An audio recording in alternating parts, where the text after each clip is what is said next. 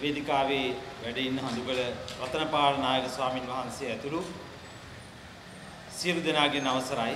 මේ අවස්ථාවට සහභාගී වන මෑණිවරුනි පියවරුනි සහෝදර සහෝදරීනි.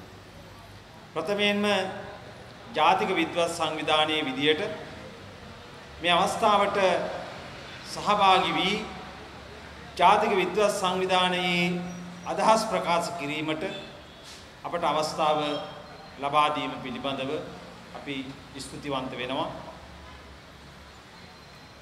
විධායක ජනාධිපති ක්‍රමය තවදුරටත් මේ රටට අනවශ්‍ය බව එහි අනිටු ඵල විපාක අපේ සමාජය ඕනෑවටත් වඩා අත්විඳ ඇති බව මට පෙර කතා කළ සියලු කතිකයන්ගෙන් ප්‍රකාශ වුණා. ඒ නිසා ඒ පිළිබඳව පුනපුනා කීමට මා බලාපොරොත්තු වෙන්නේ නැහැ. නමුත් නැවත ජනාධිපතිවරණයක් මේ රටට අවශ්‍ය නොවන බවට මේ විධායක ජනාධිපති දුරේ තිබුණු කරුණු කීපයක් ඔස්සේ ඔබේ අවධානය යොමු කිරීමට පමණක් මම මේ සුළු කාලය යොදා ගැනීමට බලාපොරොත්තු වෙනවා. 1978 විධායක ජනාධිපති ක්‍රමය හඳුන්වා දීමේදී ජේ.ආර්. ජයවර්ධන මහතා ඉදිරිපත් කරපු මූලික කාරණයක් උනේ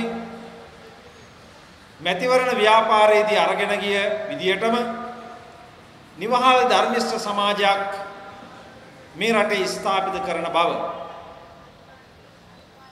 අවුරුදු 41ක් ගත වෙලා මේ නිවහල් ධර්මිෂ්ඨ සමාජයේ වගේම ඒ සමාජයේ විසින් නිවහල් බව විසින් නිර්මාණය කරලා දුන්නු බොහෝ දේවල් අපි භුක්ති විඳලා තිබෙනවා භුක්ති විඳින්න ඉන්නවා කියන කාරණය ඉතාමත් පැහැදිලියි. විධායක ජනාධිපති දුරය මේ ජනාධිපති ක්‍රමය හඳුන්වලා දීලා අවුරුදු දෙකකින් අවුරුදු දෙකක් ඇතුළත 80 ජූලි වැඩ වර්ජනය ලේන් යකඩින් මර්ධනය කරලා කම්කරුවන් දහස් ගණනක් දසදහස් ගණනක් රැකියාවෙන් දොට්ට දාලා තමයි නිවහල් ධර්මිෂ්ඨ සමාජය ආරම්භ කළේ. ඒ වගේම 83 කළු ජූලිය නිර්මාණය කරලා ඒ ඔස්සේ දේශපාලන පක්ෂ තහනම් කරලා ඒ වගේම ඊට පෙර ලාම්පු කලගිනි සෙල්ලමක් මගින් ජනතාවගේ ඡන්ද බලය පැහැරගෙන ඊටමත් අශීලාචාර දුර්දාන්ත ගමනකට මේ විධායක ජනාධිපති ක්‍රමය ඔස්සේ ජේ.ආර්. ජයවර්ධනත් ඔහුගේ ආණ්ඩුවත් ගමන් කළා. ඒ ගමනේ ප්‍රතිඵලයක් හැටියට තමයි මේ රටේ උතුරේ මහා දෙවන්ත විරෝධයක් නිර්මාණය වෙන්නේ. මේ රටේ තරුණ ජීවිත දසදහස් ගණනක් උතුරේ විනාශ වෙනවා ඒ බිහිසුණු යුද්ධය හරහා විධායක ජනාධිපති ක්‍රමය ඔස්සේ මතුවුණු. ඒ වගේම තමයි 88 89 වකවානුවේ දකුණේ තරුණ ජීවිත දසදහස් ගණනක් මේ විධායක ජනාධිපති ක්‍රමය කියන බිහිසුණු යක්ෂයාට ගොදුරු කරගන්න අවස්ථාව උදා වෙනවා. මේ නිසාම අද උතුරේ පමණක් වැන්දබුවන් යුද වැන්දබුවන් 80000කට අධික ප්‍රමාණයක් ජීවත් වෙනවා දකුණේ එමෙන් දෙගුණයකට වඩා වැඩි මේ විධායක ජනාධිපති ක්‍රමයේ මගින් නිවහල් ධර්මිෂ්ඨ සමාජයක් වෙනුවට ජේ.ආර්.ගේ පාලන කාලයේදීම නිර්මාණය කරලා දුන්නේ මරණය, ලය, කඳුල, වැන්දපු භාවය, අනාථභාවය. මේ නිසාම 88 ජනාධිපති වරණයේදී ඒ වකවානුවේදීම සිරිමා බණ්ඩාරනායක මහත්මියගේ මැතිවරණ ප්‍රකාශනයේම ඉදිරිපත් කරලා තිබුණා විධායක ජනාධිපති දුරය අහෝසි කරන බවට. හැබැයි ඇයට ජයග්‍රහණය කරන්න බැරි වුණා 94 එතුමියගේ දියණිය චන්ද්‍රිකා මැතිණිය ජයග්‍රහණය කළේ වසරකින් විධායක ජනාධිපති දුරය අහෝසි කරන බවට මේ රටේ ඡන්දදායකයන්ට ජනතාවට ලිඛිත ප්‍රතිඥාවක් ලබා දෙමින් මගේ මතකයේ හැටියට 95 ජූලි 25 වෙනිදා වෙනකොට විධායක ජනාධිපති දුරේ අහෝසි කරන බව තමයි ප්‍රකාශ කළේ.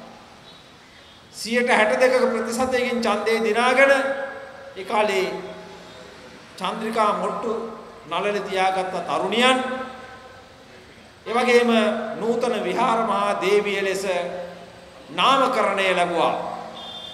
හැබැයි නූතන විහාර මහා දේවිය විධායක ජනාධිපතිවරය අහෝසි නොකලා පමණක් නෙවෙයි බලයෙන් අකමැත්තෙන් ඉවත් වී යන විට චෞර රැජින ලෙස විරුදාවලියක් ලබාගෙන තමයි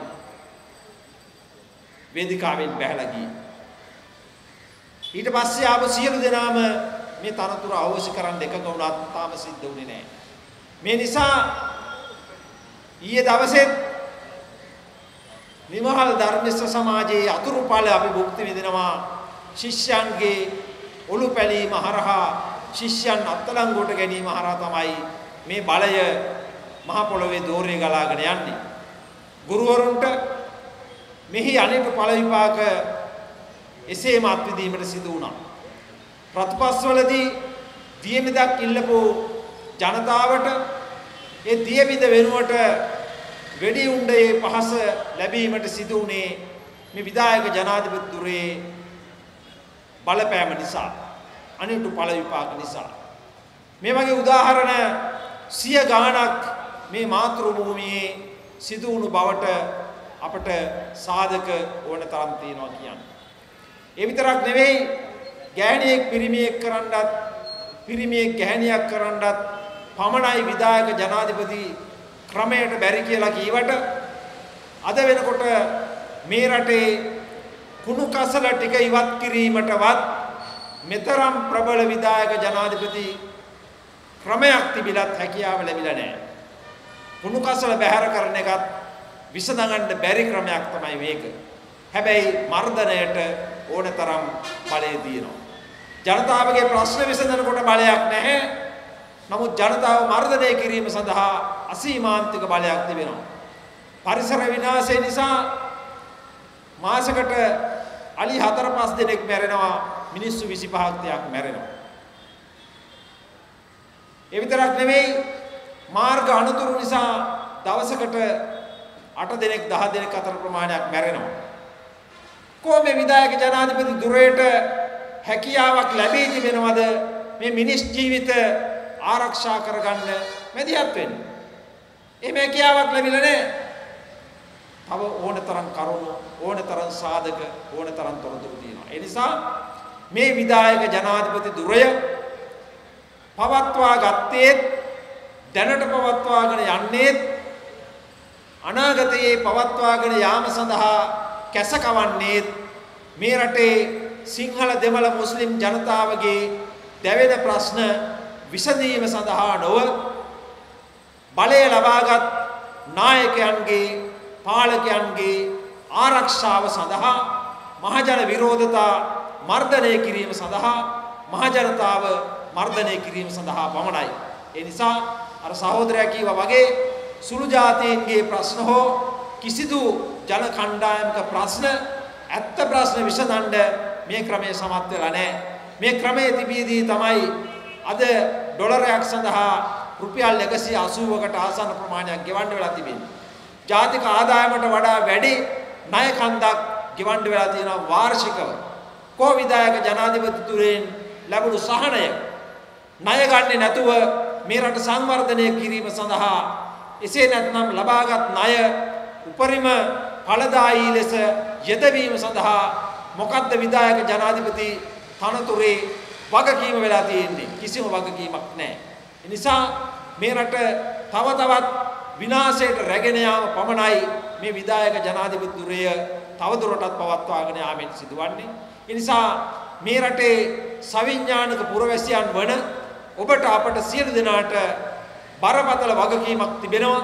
අද දවසේ මේ රට මුහුණ දෙන සියලු ව්‍යසනයන්ට හේතු භූත වුණ මූල හේතුව වුණ මේ විදායක ජනාධිපති දුරය අහෝසි කරලා මේ මාතෘ භූමියට ප්‍රජාතන්ත්‍රවාදයේ දිනා දීම විදායක ජනාධිපති දුරය අහෝසි කිරීම කියලා කියන්නේ ප්‍රජාතන්ත්‍රවාදයේ දිනා ගැනීම මේ ප්‍රජාතන්ත්‍රවාදය දිනා ගැනීමෙන් පමණයි ශිෂ්‍යයන් ගුරුවරුන් සාමාන්‍ය පුරවැසියන් ඇතුළු සියලු දෙනාට සහජීවනයෙන් ජීවත් වෙන්න හැකි වටපිටාවක් නිර්මාණය කරගන්න ලැබෙන්නේ. ඒ නිසා ඉතිහාසයේ විසින් අපේ දෙවුර මත පටවා තිබෙන මේ පහර දූර කාර්යය අපි ඉවත හෙලන්නේ නැතුව මේ වගකීම තේරුම් අරගෙන ඒ යුතුයකම ඉෂ්ට කිරීම සඳහා සියලු දෙනා අත්වැල් බැඳ ගනිමු.